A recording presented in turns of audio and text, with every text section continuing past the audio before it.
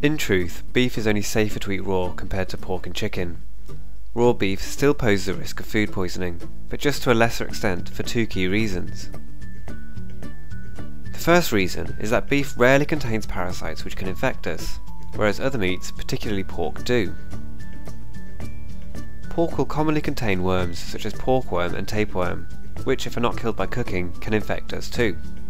Now although beef doesn't contain these parasites, there is still a risk that pathogenic bacteria can be found on the surface of the meat which can cause food poisoning. The second reason that raw, or rather rare beef is safe to eat is because beef meat is very very dense compared to pork and chicken.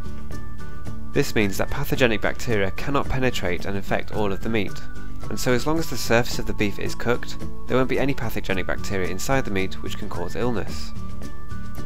However, if beef is left out at room temperature for a long time, the bacteria can start to break down the muscle fibres and then begin to penetrate inside all of the meat.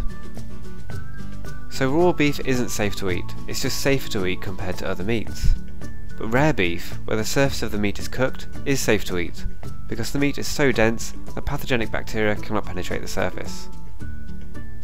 I hope you found this video useful, and if you did, please give a comment, thumbs up, and subscribe.